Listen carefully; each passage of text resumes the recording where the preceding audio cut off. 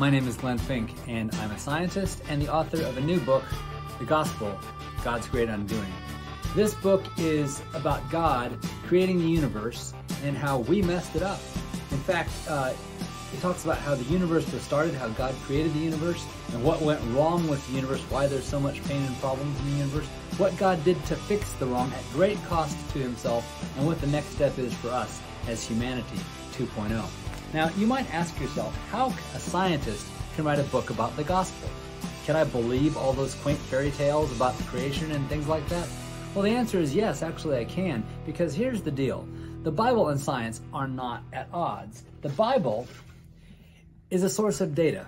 It's not a science book. It's a narrative. It's a story about the creation of the universe, about the God who dwells beyond the universe, about what God's purpose is in the universe. And he has a grand story that he's telling in the Bible. And I want to tell part of that story here. Science, on the other hand, is a tool. Science is a shovel. Science is something we use to dig for truth. We take science to learn about the world around us. And science doesn't take the data and say, this is good data, this is bad data. Science takes all the data into consideration. We, as scientists, we oftentimes will consider the quality of our data, but we don't question that the data has the right to exist. We don't say, well, this is not this is not data and that is data. It's all data, whether we like it or not. So the problem these days, a lot of people say things like follow the science, follow the science.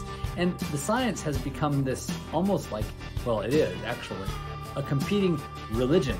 And I know some people listen to this won't believe that it's a religion, but when you hear follow the science these days, what you're actually hearing is people say, shut up and just believe what we tell you to believe. Now that's dogma.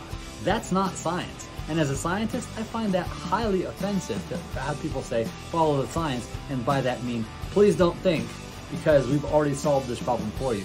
That's not science.